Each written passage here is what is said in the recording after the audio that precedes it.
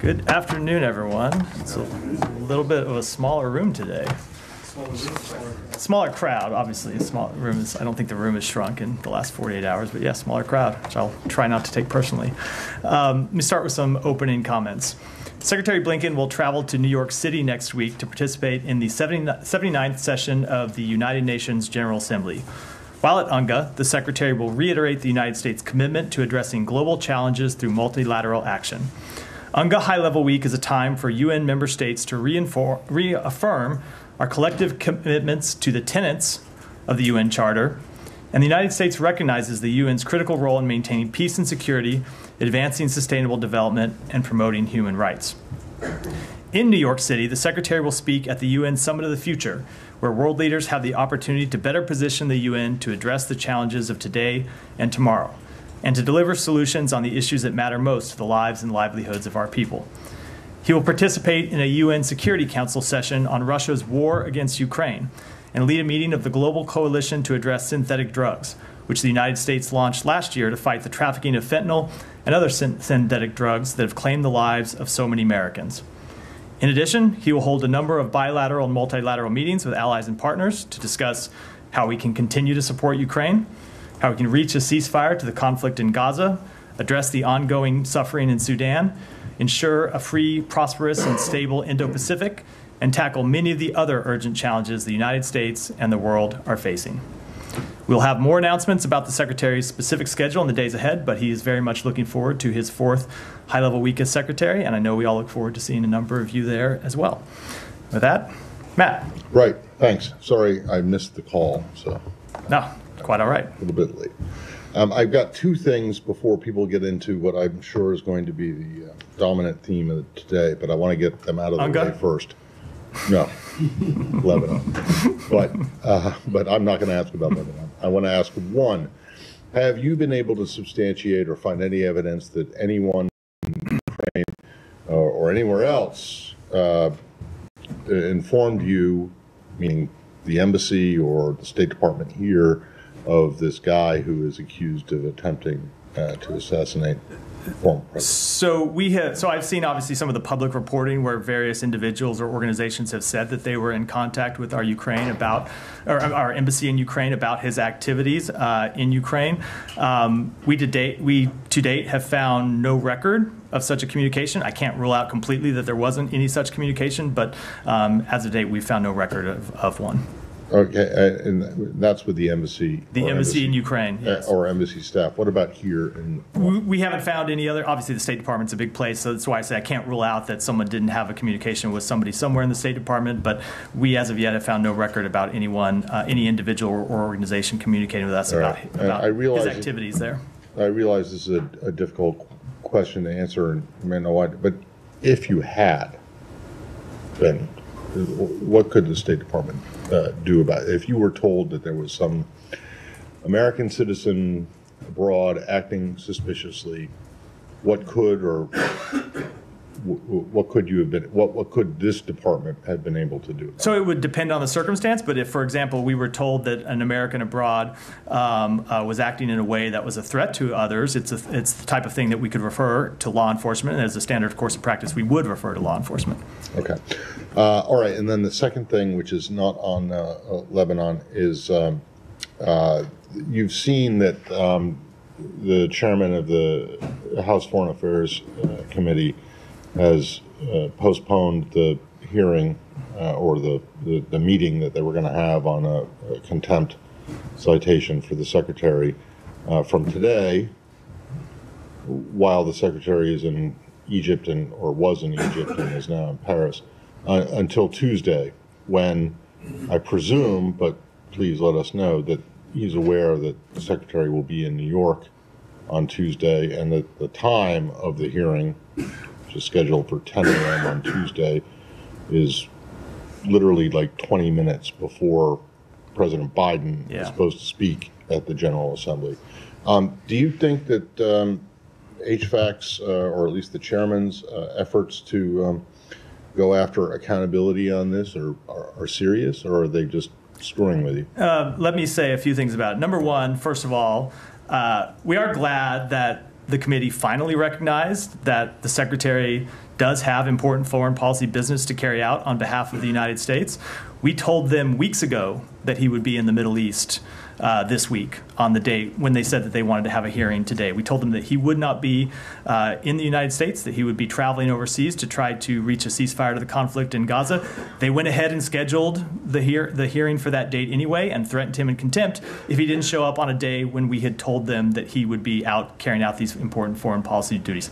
Glad that they moved the hearing from today until Tuesday in recognition that he's not here. Um, but once again, they have unilaterally selected a date when we have told them in advance that he will be not in Washington, D.C., because he will be elsewhere in carrying out important meetings to advance the foreign policy interests of the United States. To give you an example of what some of those uh, uh, meetings he will be having next week are number one, he will be participating in a United Nations Security Council debate on the war in Ukraine. We expect President Zelensky to be at that meeting. We expect the Russian foreign minister to be at that meeting. Well, we obviously think it's in the interest of the United States that the United States be represented at that meeting by the Secretary of State to defend the United States interests. He is going to convene a meeting of the Global Coalition to Address Synthetic Drugs, which the Secretary founded to try to fight the scourge of fentanyl trafficking. Chairman McCaul himself has said that the United States needs to work with its allies and partners to do more to address fentanyl trafficking. Well, that's what the Secretary is doing next Tuesday in New York. This is a meeting that has been long scheduled with foreign ministers and other foreign leaders that we are intent on carrying out because of the important foreign policy, uh, uh, because of the important uh, uh, uh outcomes that we expect to have from that meeting.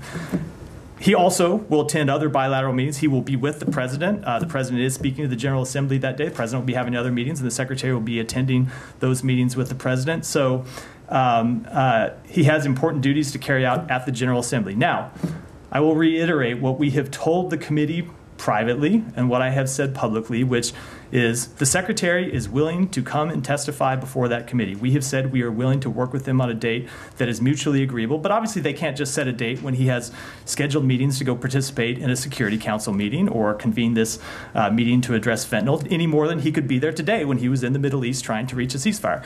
That is not the type of accommodation that the Supreme Court has said the Congress must carry out under the Constitution. So, if they are intent on having a hearing next Tuesday, we will again make another witness available. And if they don't want to have it Tuesday, if they can have it another day, we will make the secretary available. But we expect the committee to work with us um, through the constitutionally mandated accommodation process. Well, at the moment, do you think that they're actually that uh, that they're actually serious about wanting to conduct? Um, Uh, oversight? Look, or it, do you think that there's some kind of a political agenda at play here? So it very much does not appear that they're acting in good faith. When we tell them weeks in advance that uh, on Thursday, September, what is it, September 19th, the, chair, the secretary is going to be in the Middle East. You can't be in the Middle East and appear before um, a, a, congressional hearing in Washington, D.C. at the same time. And they set a hearing for that date anyway. And then when we get close to it, and they realize, oh, yeah, he actually is in the Middle East. And so they moved a hearing to Tuesday when we have told them that he is going to be in New York carrying out these important meetings, and they schedule it anyway and threaten him in contempt rather than hold it on another date. There's nothing magic about next Tuesday. They could hold the hearing on another date. We've said we'd make the secretary available on another date. So when they are not willing to take yes for an answer, I think it does raise uh, call into question whether they're. So are you, are you saying that if um, you know Congress is supposed to be in recess uh, the week after next, I believe if they were to, or at least members of this committee were to come back into session, the secretary, while he is in DC, um, before any other potential travel that's coming up in uh, the second week of October, um, that he would be willing to appear?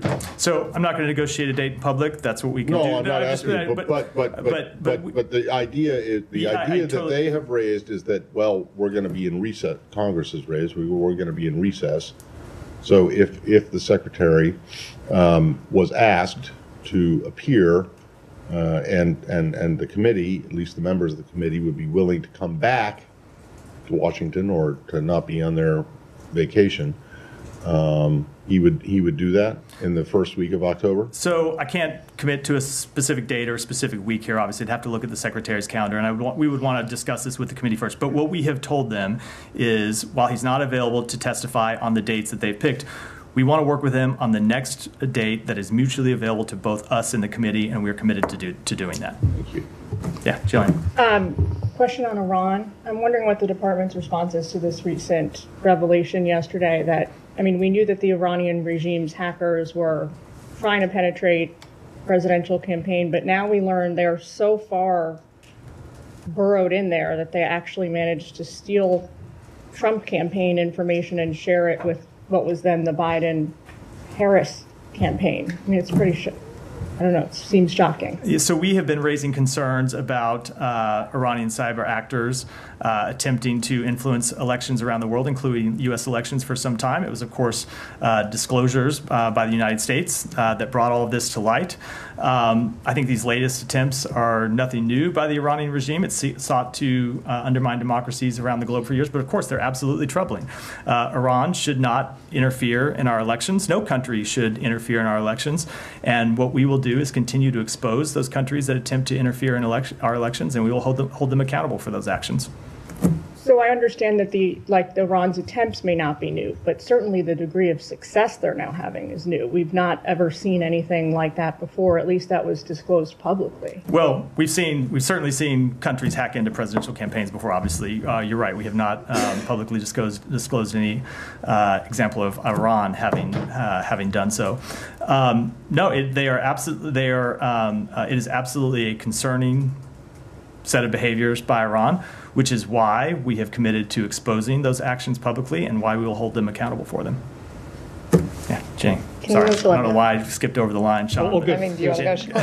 It was sort going Can typewriter we, style we down the switch line. to Lebanon? Yeah. We're seeing increasing escalations there. The Israeli Defense Forces say they're launching strikes there. Gallant has mentioned a new front. What is your response to the fact that it seems the Israelis are trying to escalate this to another front in the war? So we have been made very clear, and you heard the secretary speak to this publicly yesterday in Egypt, that we don't want to see any party escalate this conflict. Um, we think that the best way to solve the really very real security challenge that Israel faces uh, is through a diplomatic resolution that would allow thousands of Israeli citizens to return home and allow thousands of Lebanese citizens to return home.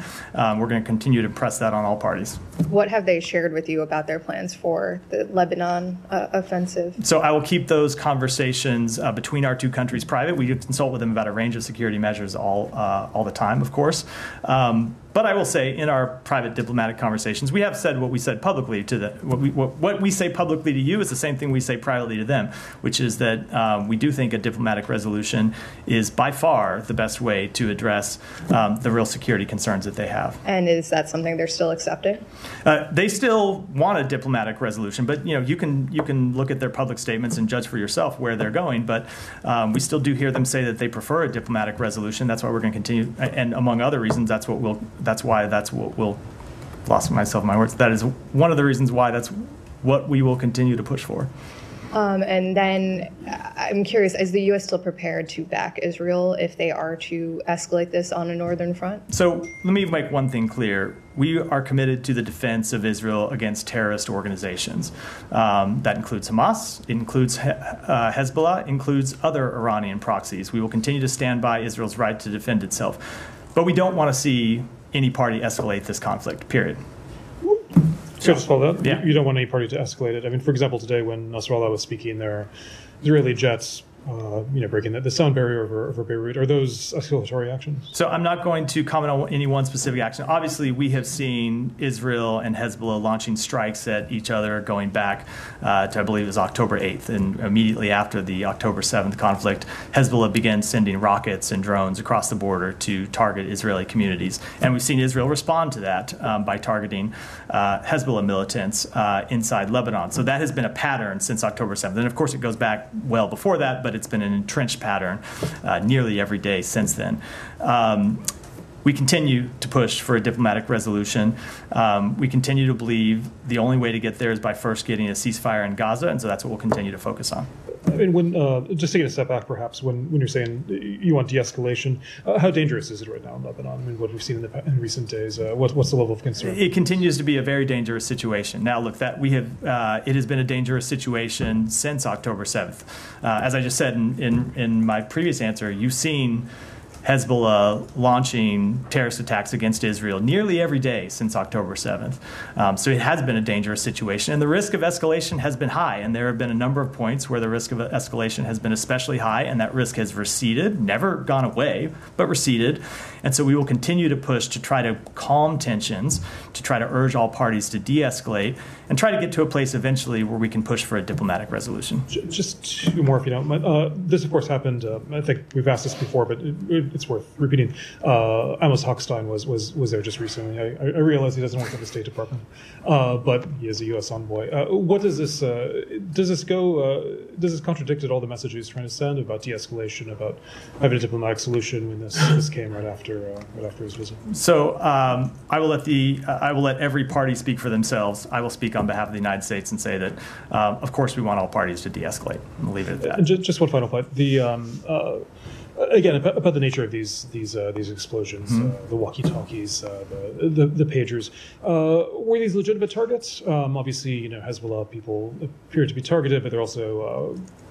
Not just reports, but there are, there are accounts of, of, of children being killed, for example. Is that is this is this a legitimate form of warfare? So, without commenting on this these specific incidents, because we are still gathering information, um, uh, as a general pra- principle, we do believe it is uh, an appropriate practice for any country to defend itself by fighting terrorist organizations and terrorists that attack and are committed to attacking uh, that country. But of course, civilians are never a legitimate target in any type of military or other operation. Would, would you see them as targeted in this? Uh, I don't have any further comment on the incident at all. Can I follow up on that? Daphne, go ahead. Uh, thanks. So, if, just to follow up on Jenny's questions, if Israel invades Lebanon, will the U.S. continue to stand by Israel? I am not going to deal with any type of hypotheticals of that nature. Obviously, we support Israel's right to defend itself, but we do not want to see a further escalation of the conflict. I'm not going to deal with any hypothetical scenarios that may or uh, hopefully will not occur.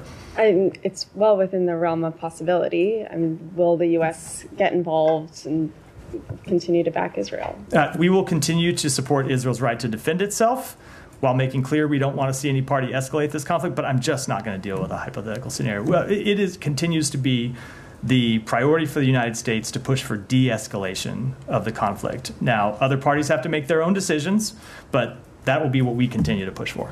And then, just on the attacks on the communications equipment, what effect do these incidents have on ceasefire talks? The secretary was just in Egypt. What did he hear while there about the path forward and, and any effect that these attacks have on the ceasefire? So I think it's too early to speculate um, or comment on what any type of, of implications might be. But as has been true in similar incidents um, over time since uh, uh, since we've been trying to to reach a ceasefire to this conflict, the continued loss of life uh, ought to encourage all parties to reach a ceasefire. It ought to be in the interest of all parties to reach a ceasefire that brings the hostages home, that stops the uh, death of civilians in Gaza, that decreases tensions across the blue line, that decreases tensions across the region. So I can't tell you what the actual effects will be, but I can tell you that the way we look at it and see when you see continued incidents that bring um, death and suffering and instability, that ought to be an incentive for uh, reaching a ceasefire, not a disincentive. Can't say it will be, but it ought to be. It's been a couple of days now. Have you seen any effects so far on the ceasefire talks? Uh, we continue to, to push for ceasefire, but I'm not going to get into where, where things stand publicly. Yeah, yeah, go ahead. Um, there was reportedly another ceasefire proposal presented to the U.S. by Gal Hirsch and the Prime Minister's office, and all in all, which offered Sinwar, you know, exile opportunities. What does the U.S. make of this? Do you think that's an actual realistic plan? I don't think it's productive for me to comment on it publicly. I, I will say uh, what you've heard us say before. We continue to push for a ceasefire. It continues to be our top priority when it comes to this conflict. The Secretary was engaged in these conversations yesterday with the President of Egypt and the Foreign Minister of Egypt. There are other conversations ongoing at different levels of our government with the uh, intermediaries, um, but I don't think it's helpful for me to kind of comment publicly on various proposals um, uh, that are floated. Is it being considered at all seriously by the U.S. government? I, ju- I, I just don't think it's productive for me to, to, to talk um, publicly. But I'll say that the, the proposal that we continue to focus on is the one that the president laid out in his address on May 31st, that was endorsed by the United Nations Security Council, um, that was agreed to by Israel, um, uh, that Hamas agreed to parts of and rejected parts of, and it has been the subject of negotiations for some time now. Sai, go ahead. You say that they accepted part of and rejected part of, but they issued a statement. They accepted all of it way back then on the, you know the third of July. So I guess it, So depen- it depends what you mean by accepted. Accept with amendments is not accepting. They accepted and they had amendments, and let me just say, Yeah. they had amendments that they came back with. There were parts of that proposal they did not accept that um, they asked for changes to. So that's not a full acceptance, just as, just as a factual matter. Side. But it, yeah, I mean it's also factual that it's the Israeli prime minister I, I'm just, putting in new, I'm just, new just, terms. Said, I'm just, No, getting- I- I'm just you. say it's a factual matter. What you said is not correct. okay. All right, let me ask you just a couple of things in, in your response to, to Daphne on. Now, U.S. officials don't believe that Israel is preparing to invade Lebanon. Do, you don't believe that Israel will invade Lebanon? So I don't know where you got that assessment from. I'm not making any public some, assessment. some, okay. Some I- are saying that they Some don't are saying, uh, the, the mythical. I never like to reply to the mythical some are saying. Uh, if you have a specific thing to refer to, I'm happy to. okay. Uh, Well, otherwise, I'll saying that, speak to know- what the State Department believes and what the State Okay, Department let me is let me then you know deal with this from a different. Do you believe that Israel is preparing to invade Lebanon? So, as I said to, in response to Right. I think Daphne Yeah, and Jenny's question, yeah, I will let every country, other country speak Right. for what it is doing, what it is Yeah. planned uh, to do, and I will speak for what the United States is doing. And the United States continues to push for a de-escalation of tensions, not an escalation. Let me just have a couple more questions with the indulgence of my colleagues. Uh, Israel is uh, blocking about uh, over 40% of food assistance into Gaza, uh, according to the HuffPost. Um, are you aware of these statistics? And can you update us on the you know the latest level of U.S. aid to Gaza? So I'm not aware of that specific statistic. I can tell you that it's uh, getting food, water, medicine continues to be something that, that we work on. You know, we have seen something of a stabilizing of the levels of food and water coming in. Not a sufficient level, but you know, when things got to a really dire level, they have come back up from kind of what that floor was several months ago. Uh, it's something that we continue to work on every day. But I think our experience over the last 11 months shows us the only way to get a durable delivery of humanitarian assistance into Gaza is to reach a ceasefire. So you have uh, an increased ability to get food, water, medicine, other humanitarian goods to the crossings themselves, and then you have the ability to deliver them from those crossings uh, in, inside Gaza to the people that who need them. But you are keeping tabs on the level of aid that goes in. Of course, correct? I just I, I, I, I don't have the number of trucks I that came in at my fingertips. I'm happy to follow up with you after the briefing. Is it at the same level as it was, you know, when, when the pier was there, or less or more? So it, the level changes as you. I think you know, because the, the truck the, tr- no, the truck numbers are public. They're uh, published publicized by uh, various UN entities. I don't have them at my fingertips, but they're publicly available, and I'm happy to engage with you after the briefing Okay, to get them to. you. and uh, I wanted to ask you about uh, normalization. Uh, yesterday or the day before, the Crown Prince of Saudi Arabia, MBS, said there will be no, no, they will not recognize Israel without a Palestinian state. so, do you feel that now, you know, we're getting so close to the election, this effort to normalize uh, will be dropped by this administration? So, Saeed, that is exactly what the Crown Prince said to Secretary Blinken when we met with him in Saudi Arabia on January 8th. And the Secretary came out publicly and said that he had just met with the Crown Prince, and the Crown Prince said there are two things that he needed to see before he could move forward on normalization. One was a ceasefire in Gaza, and one was a legitimate path to two states. So that has been his position, and we have publicly discussed his position for some time. I, I'm aware, but I'm saying that as we know, as the calendar or the, as the window closes, do you feel that it's going to be, you know, further effort by the administration to pursue normalization? Every every day that goes by, it gets tougher to accomplish anything. That's just a, a, a temporal fact.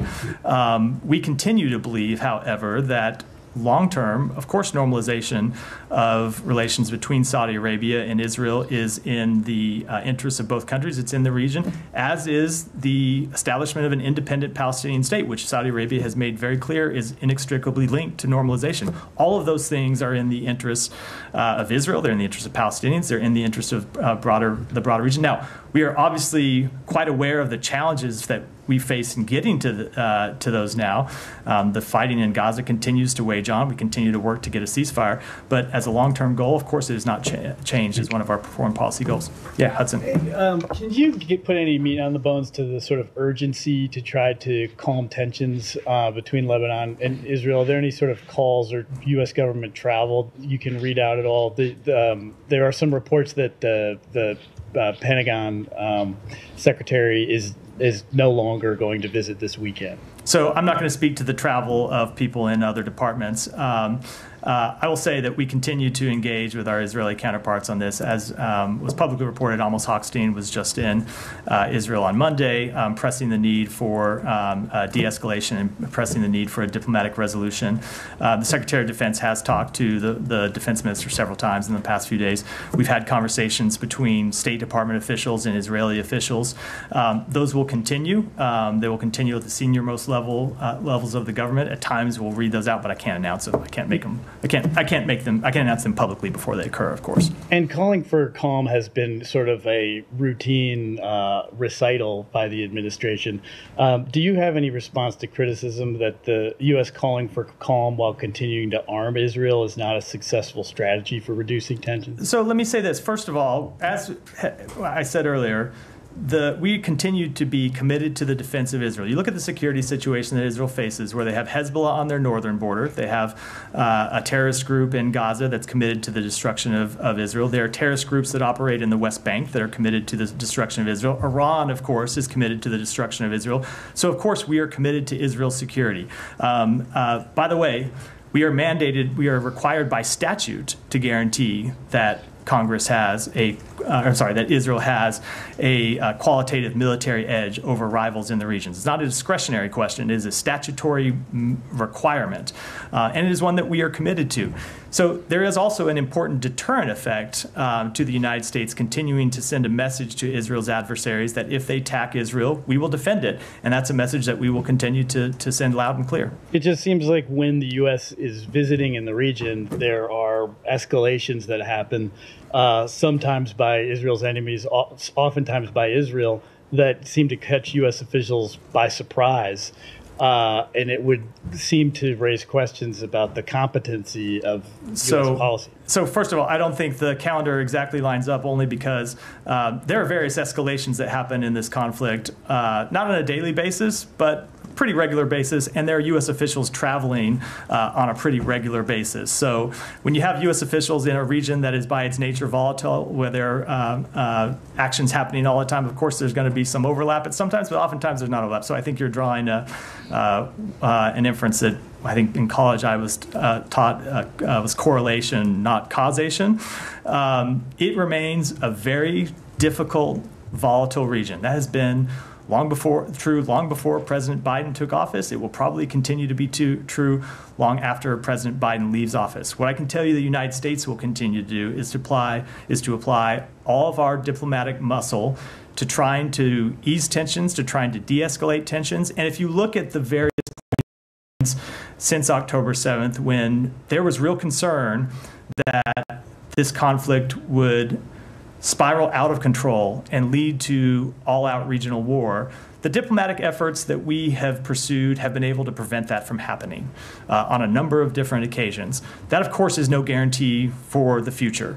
Um, you know, the investment line about past results being no guarantee of future success. But what it is, is a sign to us that that's what we need to keep doing, that we need to keep even in the face of a very difficult situation, doing everything we can to urge all parties to de escalate tensions, to try to restore calm, and try to refrain from uh, uh, taking steps that can't be reversed. Causation isn't correlation, but don't U.S. officials risk becoming just part of the furniture in the Middle East where they're not really taken seriously I, I think, I think the example I was just going through shows exactly the opposite. There have been times uh, throughout, the, throughout the past 11 months where U.S. engagement with our allies and partners in the regions and the mes- messages that we have been able to uh, organize various allies and partners to send to Iran, to Iranian proxy groups, and the messages that we have delivered uh, to, to Israel and to other countries have kept this conflict from spilling out of control.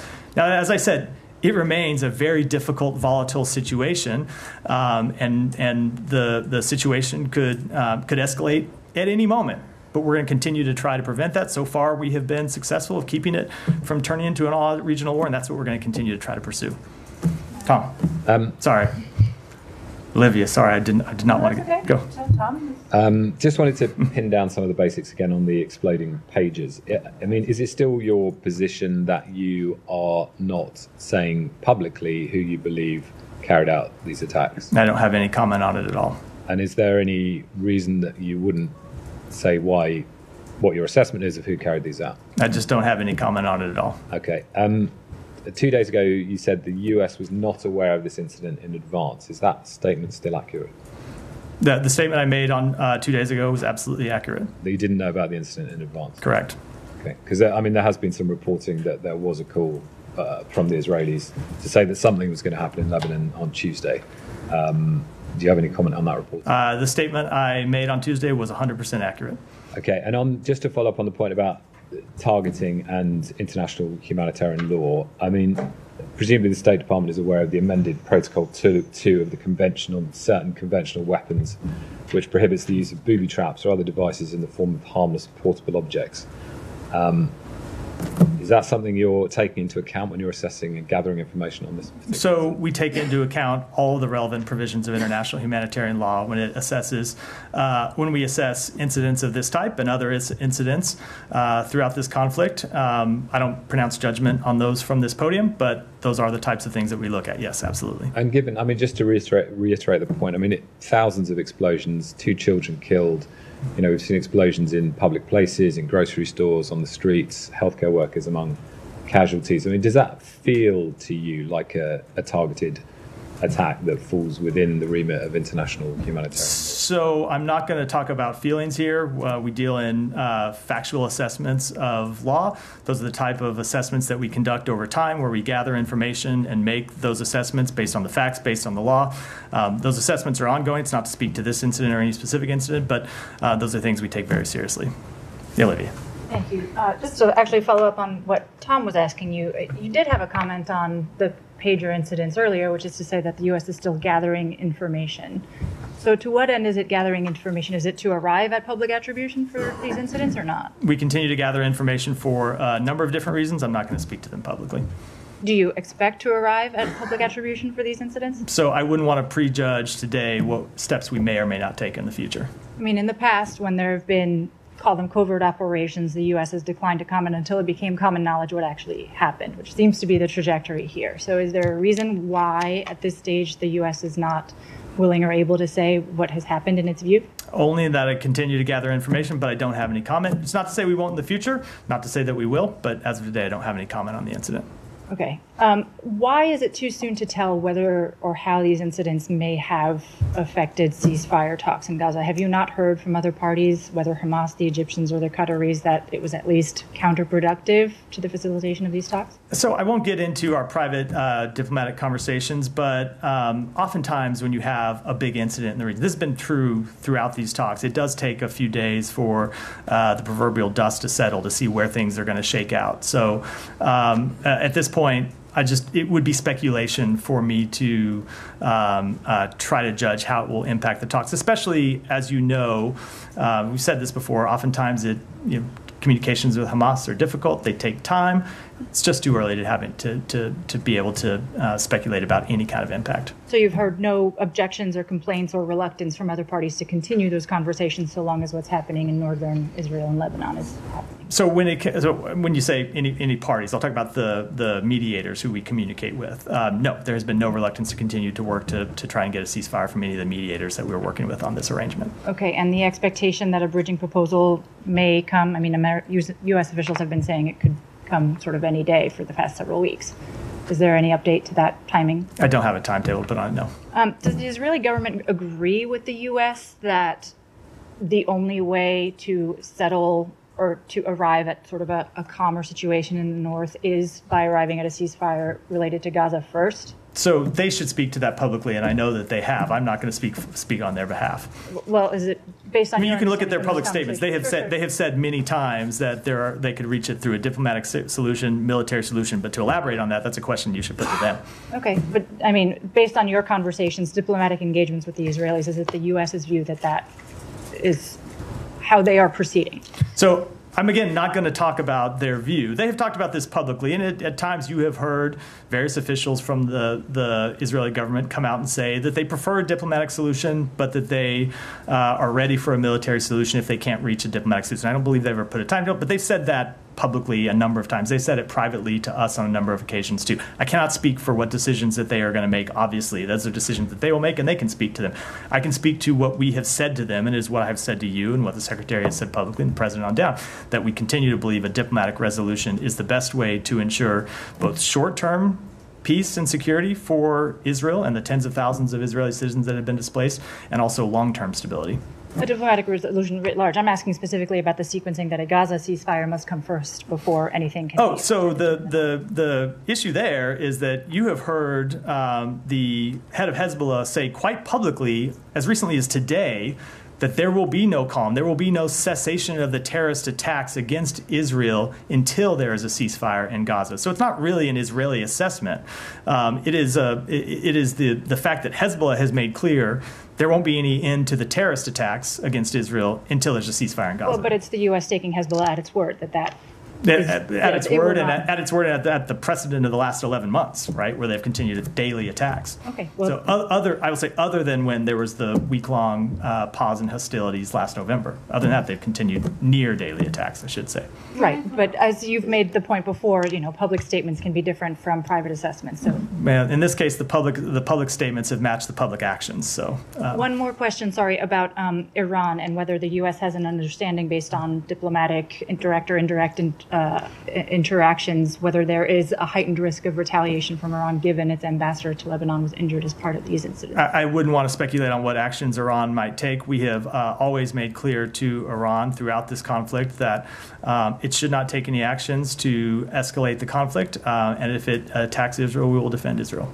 Do you think? Do you, do Let you think the me- U.S. has one a more, clear I really do have to go to understanding- some sure, other a clear people. understanding of what Iranians' intentions might might be? Uh, so it, it is always impossible to judge what a foreign country may or may not do. Leave it at that. Eva, go ahead.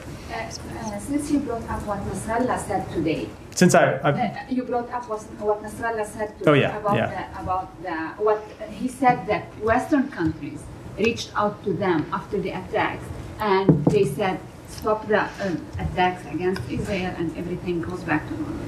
Now we know where are where, where the talks, the ceasefire talks with Hamas stand. We know that you have Philadelphia uh, corridor and the prisoners. When it comes to Lebanon, he said that the Western countries offered them that stop the attacks and everything goes back to normal. Now, for uh, they said no, uh, not before a ceasefire in Gaza, but for the Israeli, it is not the same. I mean, they said they want to change the status. They want to change the situation. So where things stand here, there's a misunderstanding what Hezbollah wants and what the Israeli want. And what are you offering for what? we continue. So I'm not going to speak to what, what Hezbollah wants or, or speak to those these um, uh, supposed private outreaches that Nasrallah said that uh, Hezbollah received. Um, what we want is calm. We want calm for the tens of thousands of Israeli families who've been forced from their homes, and we want calm for the tens of thousands of Lebanese families that have been forced uh, from their homes. Now, look, Nasrallah could stop the terrorist attacks across Israel. Um, and I guarantee you, if he did that, we would be impressing upon Israel the need to maintain calm uh, on their end. The bottom line is he hasn't stopped those terrorist attacks, and so as long as Hezbollah is target is launching terrorist attacks across the border, of course Israel is going to launch military action to defend itself, as any country would. What we continue to push to all the parties is not to escalate the conflict, not to let it spiral out of control into a war that we don't think serves either side's interests, uh, and to ultimately try to get to the point, try to, to let us get to a ceasefire in Gaza that would help bring calm uh, across the blue line. So, if I understood you well, you support going back to October 6th on the northern border. We want a diplomatic resolution. I am not going to speak to uh, what that dis- diplomatic resolution would look like in public. I don't think that's productive. Okay, one more question. Uh, he, uh, Nasrallah also said, in case of a ground military operation by the Israeli, Hezbollah will operate inside Israel. He, he said he threatened that they, there will be operations inside the settlements. You've been saying that a military operation also won't bring the uh, Israeli citizens back to the north. So, do you assess that Hezbollah is able to execute what, what Nasrallah said today? Uh, I am not going to offer any private assessment, or any, I'm not going to offer publicly uh, any type of, of uh, private assessments that we have about Hezbollah's capabilities. Thank you. Uh, yeah, go ahead. Uh, thank you, Matt. And uh, I'll go with the same route here about Lebanon. Uh, you don't have any assessment, you said, in answering many questions, but is it that you don't have it or you don't want to share it? I don't have any public uh, assessment to offer, no. Okay, and um, because w- my question goes to that, you're still assessing and you're still calling diplomatically that everybody should de escalate, but things on the ground are moving in the opposite direction. Israel is moving troops to the north. Hezbollah today said that Israel, what Israel did on, on Tuesday is a declaration of war. And if I, am I fair to you when I, if I assess from all the answers that you give to my colleagues here, that you kind of helpless, like we're gonna call upon them, whether they want to listen to us or not is up to them. So let me put it this way. I, I talked about this to some length in response to uh, Hudson's questions earlier. Throughout this conflict, we have worked to keep the conflict from escalating. You have seen us uh, at times when tensions were quite high intervene with various parties and send messages to various parties and conduct diplomatic engagements that have uh, kept the conflict from really spilling out of control and leading into regional all out war, which, if you remember, has been one of our top strategic goals since October 7th. It's what the president and the secretary were talking about from day one, trying to avoid, and it continues to be our top uh, strategic goal. But of course, Every country in the world has agency. Every country in the world, every entity in the world is responsible for their own decisions. The United States, no other country can dictate to any country or any entity what they're going to do. Now, we can continue to uh, uh, engage diplomacy. We can continue to engage in all of our best efforts. We can continue to rally our allies and partners. But of course, it's true that countries make their uh, their own decisions about their future and what they're going to do. That has always been true. It will continue to be true. It goes to the point I was saying earlier. The Middle East has been a volatile place for a long time. Um, we have been engaged in the region for some time. And of course, since October 7th, we have been engaged to try to bring down tensions. But ultimately, yes, every country is responsible and every entity is responsible for the actions that they take. But I mean, you just answered uh, Heba's question about that if Hezbollah ceased attacking Israel, you will press Israel to cease attacking him. Them. We want to see. We want to see. Look, ultimately, we want to see a resolution. That's exactly what I was referring to. We want to see uh, a resolution to the violence. That's what when I say we want to see tens of thousands of Israelis return home and tens of thousands of Lebanese return. That's exactly what I'm referring to. We But, want to I see mean, calm if- along if- the blue line. How you can guarantee, for example, to Hezbollah, if- some commander in Hezbollah got a no- notification and he said, "Okay, the Americans will stop this," Come, how you come- can hold on, come on. You're not naive about the history of the Middle East. Know that if there are no guarantees about long-term stability. All we can do is is do all every country can do is do our best to calm a very difficult situation. Try to get immediate calm and try to build that into lasting peace and build that into regional stability. It is of course incredibly difficult. It's a hugely difficult process, or someone would have solved this problem a long time. But that's what we're engaged in trying to do.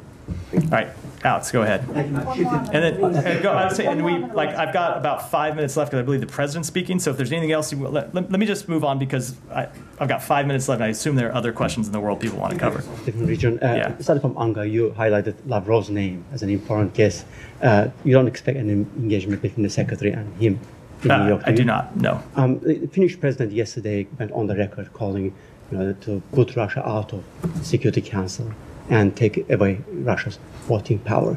What is the official American response? So I think that is uh, uh, this is something that people have called for at various times through the process, uh, uh, or various times since Russia launched or expanded its illegal uh, invasion of Ukraine. If you look at the um, uh, UN bylaws, uh, it is something that would be incredibly difficult to achieve, if not incred- incredibly difficult to achieve.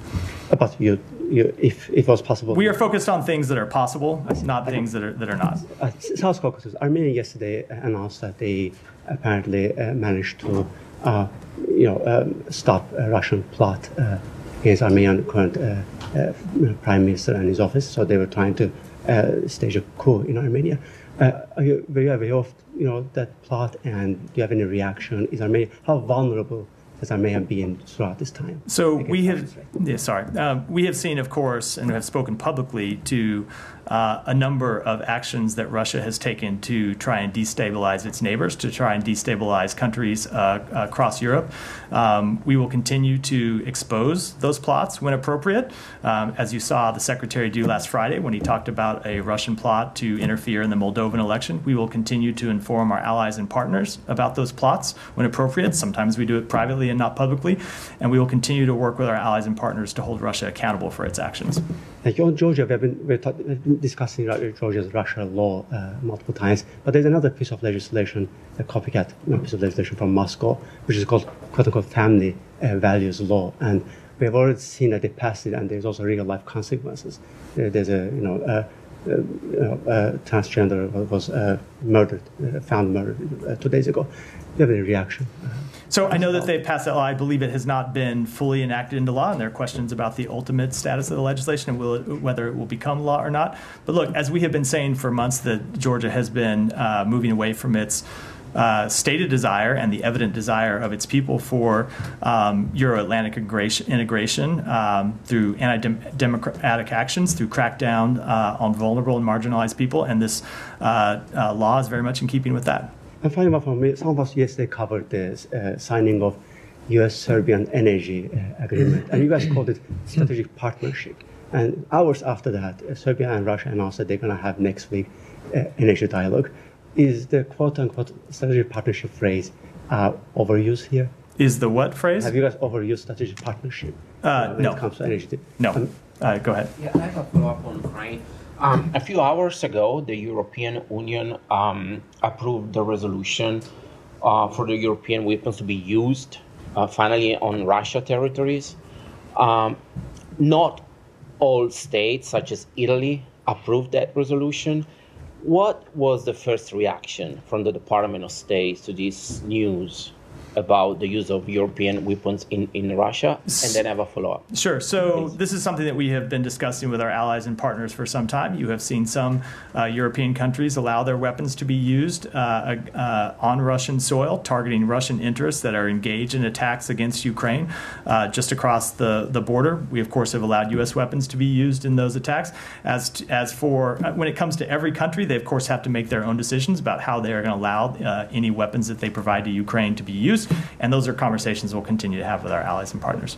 This decision will impact the decision from the US uh, to allow Ukraine to use the long range because not all European states agree to use NATO weapons in, in Russia. I just don't have any further comment other than that it's an issue we'll continue to discuss with our allies and partners. Let me do one more, and then I do have to break because I believe the president's giving a speech. Thank you, and sorry to double back to Lebanon and the timing here, but do okay i know what you said about the what the us was aware of or not aware of in this case ahead of the pager explosions but about a day later there was another wave of explosions this time the larger radio devices. Did the us have any idea that that was going to happen ahead of time? Uh, we are not we were not involved in that operation in any way shape or form and i'll leave it at that. So no awareness or didn't say whether we, you were aware? we were not involved in the operation and with that i have to break for today. Thanks everyone. I have one